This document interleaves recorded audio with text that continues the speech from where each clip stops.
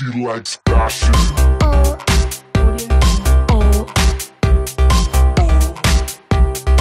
She likes fashion. Runway. Style. Fame. Bueno, buenas tardes.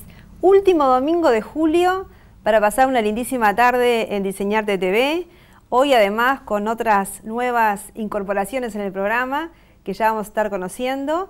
Y bueno, y realmente chicas, este, hemos estado todos los días con algunas diferentes propuestas, todas de diseño, ¿no? Este, inclusive el fin de semana anterior, bueno, estuvimos recorriendo el LATU, recorrimos también otras opciones de, de diseño que tiene que ver con, con boda, que tiene que ver con uniformes, que tiene que ver con, bueno, como Feria Máxima. Realmente cada vez eh, nos asombra y nos, además nos alegra, por supuesto, la variedad de propuestas de diseño nacional que este, podemos disfrutar y podemos conocer diferentes proyectos. Pero bueno, más allá de todo eso, este, Sí. Maru. Hoy también tenemos una grande novedad. Se suma al equipo de Diseñarte TV, Maru Romano, que está con nosotros hoy. Bienvenida. Hola Kate, hola Clau. Bueno, Gracias. Eh, muchas gracias por recibirme y bueno, por formar parte de este equipo. Estoy muy contenta. La verdad que eh, se puede trabajar mucho acá en Uruguay con temas de diseño. Eh, bueno, para los que no me conocen, mi nombre es María, pero todo el mundo me conoce como Maru. Claro, la Eh. de Diseñarte TV. Soy modelo y creadora de contenidos. Para los que conocen más bien, una influencer. En los que más o menos, o sea, los influencers nos, nos focalizamos en transmitir eh, las propuestas de valor de las marcas con las que trabajamos y crear contenidos eh, que vayan con, con la marca, ¿no? Esto, de influencer es muy nuevo, ¿no? ¿Desde cuánto tiempo estamos escuchando? Bueno, para una nueva generación, pero ¿desde cuándo está esta, esta modalidad? Y bueno, acá en Uruguay eh, empezó más o menos en el- a fines del 2016 con fuerza. Eh, es algo que va más bien con las redes sociales, sobre todo con Instagram, que bueno, la gente como que visualiza a una persona y bueno, esa persona trata de influenciar eh, sea algún estilo de vida, como de cocina, como, bueno, cada uno tiene su perfil. Mi perfil es más lifestyle, que es incorporar desde recetas hasta rutinas de ejercicio, hasta, bueno, mi trabajo y en, en una rutina. ¿Y cuánta gente te sigue, por ejemplo? a mí me siguen casi 20.000 seguidores de Uruguay. eh, también tengo una parte de Argentina porque estuve viviendo en Buenos Eso Aires. iba a decir, que tenés un perfil muy internacional. Maru vivió bastante tiempo entre eh, Irlanda, entre Barcelona y Buenos Aires. Sí, exacto, Cate. ¿Y, y qué, qué, te, qué te llevas de estos países a Uruguay? Contanos. Bueno, lo que me pasa a mí es que soy una persona que le encanta viajar. Entonces, eh, Como todas nosotros. Como todas las- te podemos acompañar cuando quieras. me fascina, me encanta aprender mucho de las, de las culturas eh, y sumar. Entonces, cuando yo me fui a Irlanda, eh, empecé a ver, o sea, me fui con 18 años, terminar liceo y me fui, y era un mundo que yo, no sé, o sea, la, sol- la soltura, o sea, soltarse de esa forma que acá a veces tenés miedo a lo que pueden pensar de vos. Allá es como que en realidad a nadie le importa mucho lo que hagas o cómo te vistas, entonces empecé a modificar mi, o sea, mi forma de ver las cosas. Y eso para mí me enseñó muchísimo y a su vez, bueno, después viajé sola muchas veces a Barcelona, bueno, en Buenos Aires estuve ahí y bueno, fui creciendo a nivel de lo que es influencer. Pero mucha, mucha gente ahora, este, esto de viajar sola, sobre todo mujeres, es Sí. algo que se, se viene dando cada vez más. Este, así que bueno, nos encanta tenerte este, con un nuevo perfil, una nueva mirada para diseñarte. Sí. Eh, nos encanta tener también otra, otra visión, otra opinión. Sí, seguramente. Y también otro público mucho. que pueda involucrarse con este programa, que como decimos siempre, estamos difundiendo el diseño nacional, a las propuestas de jóvenes talentos. Este, así que bueno, bienvenidas y hoy tenemos un lindísimo programa que vamos a estar compartiendo. Este, justamente ahora nomás nos vamos para Artigas, mira, tenemos un proyecto muy lindo que viene desde Artigas. Así que bueno, enseguida volvemos con Diseñarte TV con un nuevo proyecto. seguimos en Diseñarte TV. Esta vez vamos a estar comentando un proyecto lindísimo que tiene que ver además con dos diseñadores industriales, pero también con una conexión muy fuerte con el departamento de Artigas. Eh, estamos recibiendo a Cecilia Casafúa y Alfonso Martínez. Bienvenidos. Gracias. Muchas gracias. Bueno, directores del proyecto Tosca. Exactamente. ¿De dónde viene Tosca? Eh, Tosca viene de, de una idea de proyecto personal que teníamos hace mucho tiempo y bueno, yo, eh, yo estaba bastante conectada con la ciudad de Artigas porque traba- trabajaba allá, Foncho un par de veces me había acompañado, somos amigos. Y bueno, y viendo las piedras surgió la idea de, empezar a trabajar este, con las piedras. Veíamos que era un material que, que estaba un poco olvidado, eh, que es una materia prima uruguaya, que mm, también respondía un poco a, a la industria nacional, que está también olvidada en ese sentido. Y bueno, así empezó Tosca.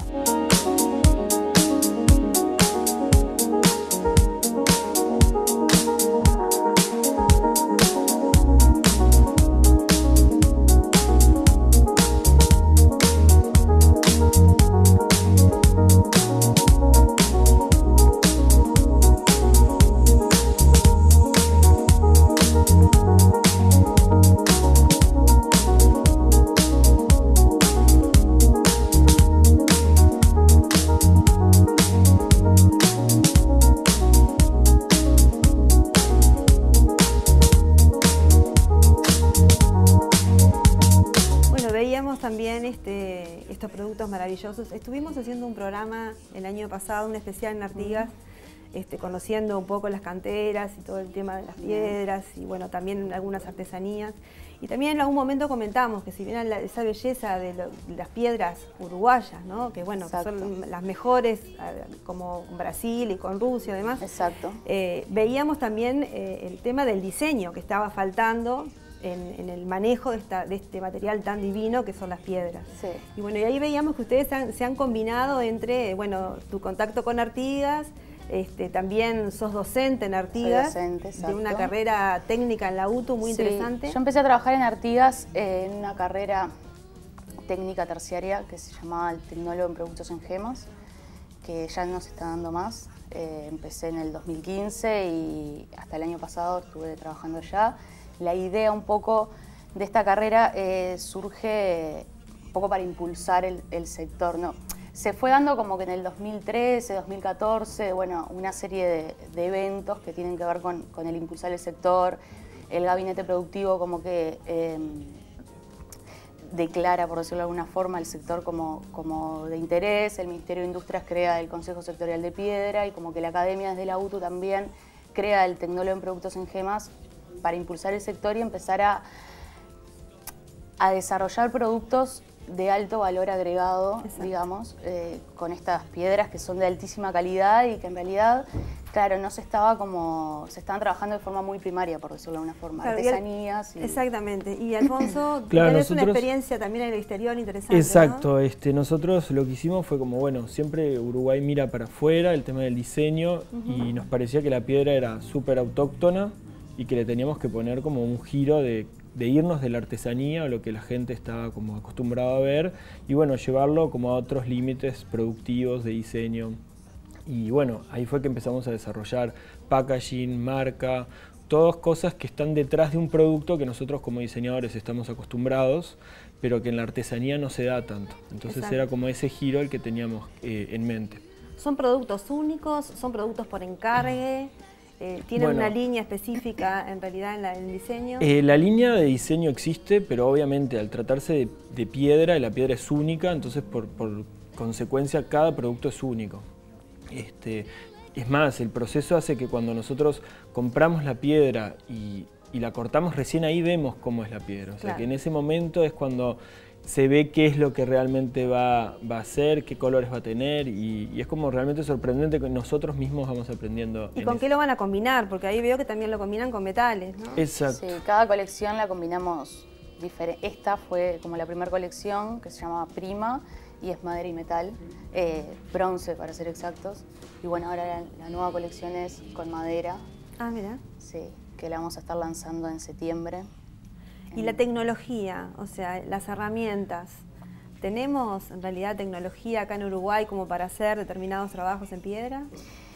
Bueno, eso es un poco el- uno de los problemas que tiene el sector, digamos, que es que, que está como muy carente de, de tecnología, ¿no? Eh, no se compara con, bueno, con tecnologías que se pueden encontrar en Brasil, por ejemplo. que Claro. es- entonces, el trabajo sigue siendo como bastante artesanal.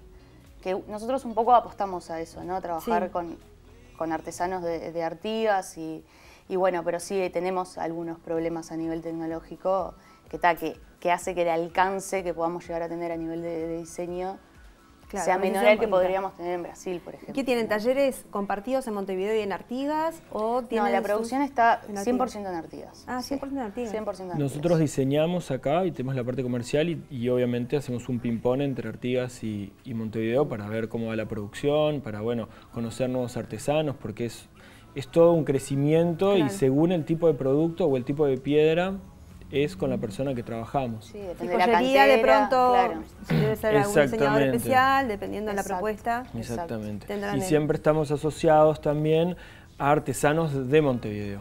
Este, la parte de metal la hace un joyero, este, la parte de algunas terminaciones como las lacas las hace otro, otro especialista. Entonces Claro. es una sinergia entre diferentes eh, Sí, especialistas, depende del especialistas según el producto, exactamente. Ahora estamos entrando como todo en la parte del contacto con las maderas para esta nueva colección. Y, y estos, estos, re- estos productos se llevan al exterior, son buscados de repente por bueno sector Sí. público que quiera llevar en realidad Sí, regalos Nosotros especiales. trasladados? ahora eh, somos el, el regalo oficial del Ministerio de Industrias porque es una materia prima nacional, ¿no? Claro, súper representativa por y- bueno, eh, somos el regalo oficial de- del Ministerio de Industrias. Y después vendemos en, en Mamina, ustedes nos conocen en Mamina, eh, y sí, el público es mayoritariamente de turistas.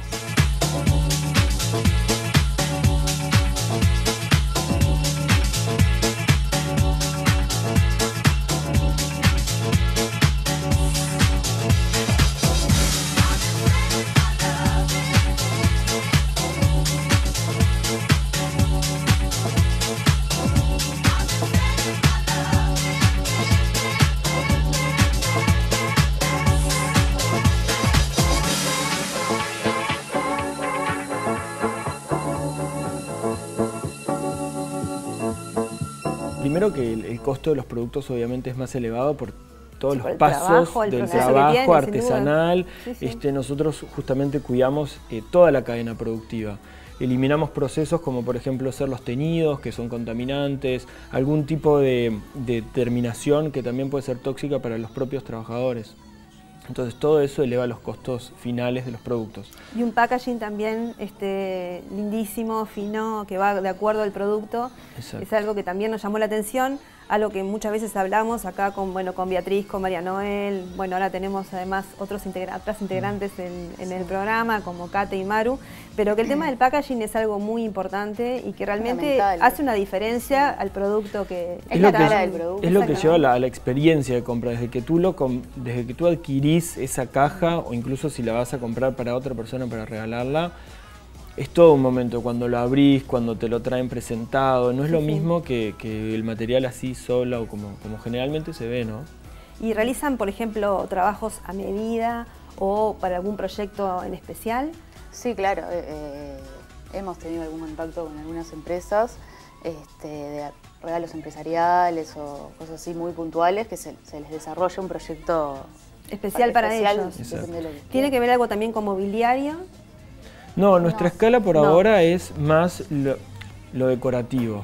En realidad son productos eh, de escala media, se le dice, que es como para Claro. dentro del hogar, o bueno, obviamente que funcionan también en empresas, pero claro, es sí, sí. cosas pero- chicas. Exactamente. Sí. Bueno, y entonces, ¿dónde, ¿dónde accedemos a, a este proyecto Tosca? Más allá de Mamina, que bueno, que es aparte, como verán, es amiga de la casa. Sí, claro. Eh, ¿Tienen alguna página web? Este, ¿Hay alguna, ustedes venden directamente por Mira, web alguna nosotros otra? tenemos, bueno, por canal? supuesto a través de Instagram, que están todos los productos y es como nuestra vidriera. Después tenemos la web también, que es eh, estudiotosca.com.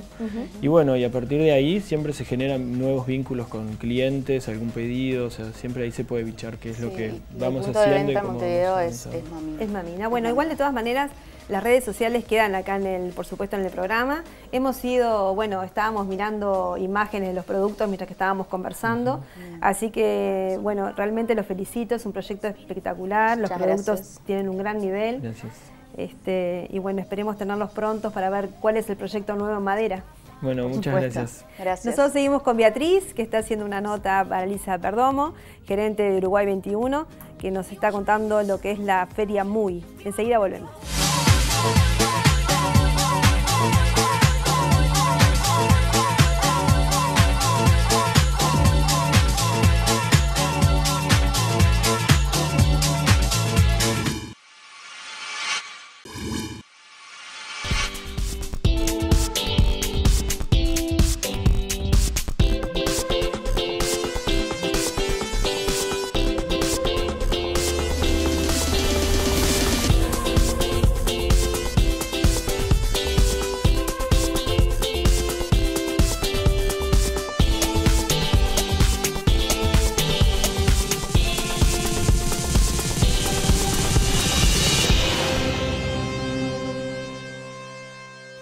Saben que desde Diseñarte siempre resaltamos el rol de Uruguay 21 en lo que tiene que ver con colaborar sistemáticamente a través de la marca país mostrando auténtico diseño nacional en todas sus manifestaciones.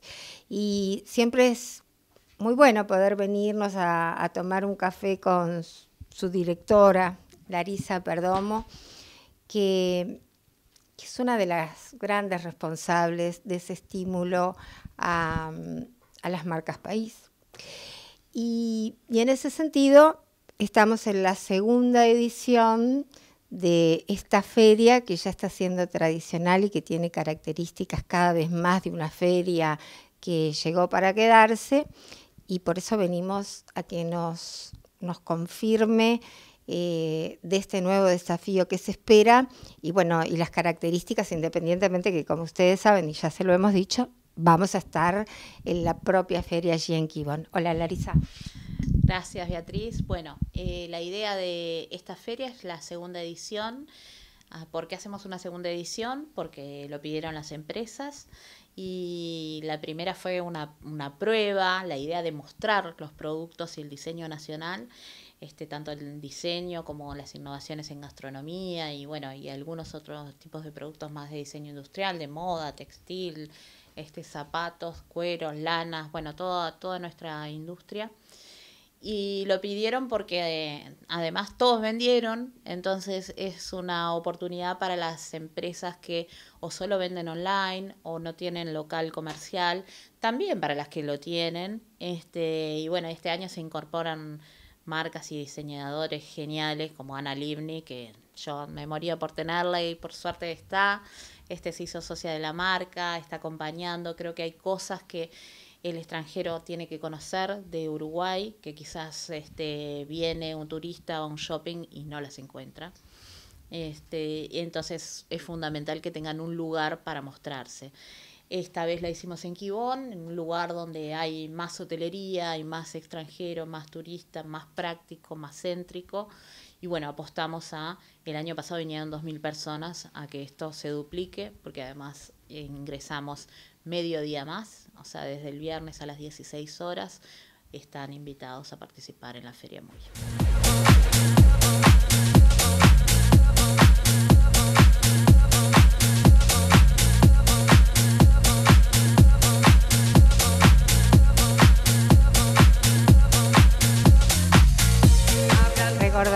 Bien los días, desde cuándo hasta cuándo y eh, digo, muy llegó para quedarse. Sí, llegó para quedarse y para eh, extenderse o incorporar nuevos destinos. Es así que, bueno, estamos pensando en una feria en Punta del Este, quizás no sea para esta temporada, pero puede ser para la siguiente, porque muchas marcas y, este, y desde Punta del Este la han pedido. Y bueno, quizás, ¿por qué no?, exportar una, una versión más pequeña de esta feria a algún mercado cercano, pero con potencial este, de compra para estos productos.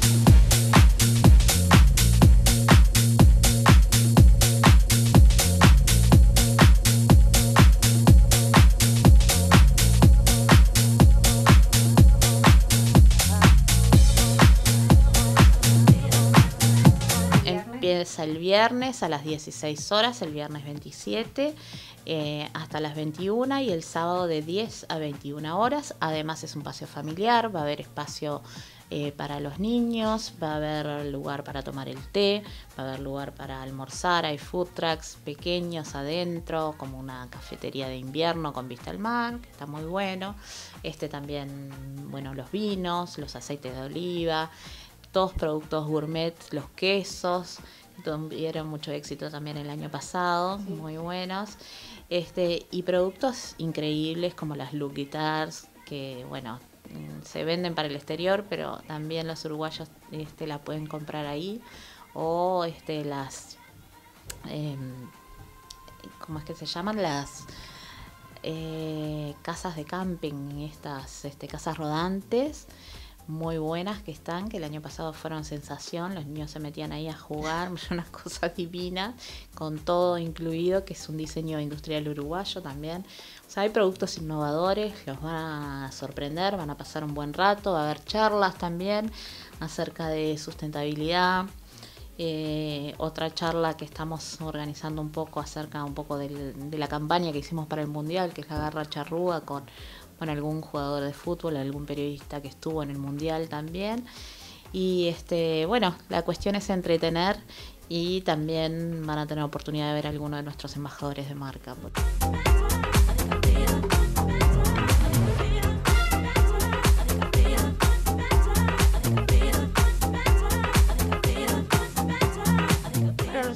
Nos despedimos desde aquí, de la oficina que le invadimos en Uruguay 21, marca país, pero nos encontramos en la feria porque Diseñarte estuvo en la primera edición y no se va a perder de mostrarles a ustedes esta segunda edición. Nos vemos.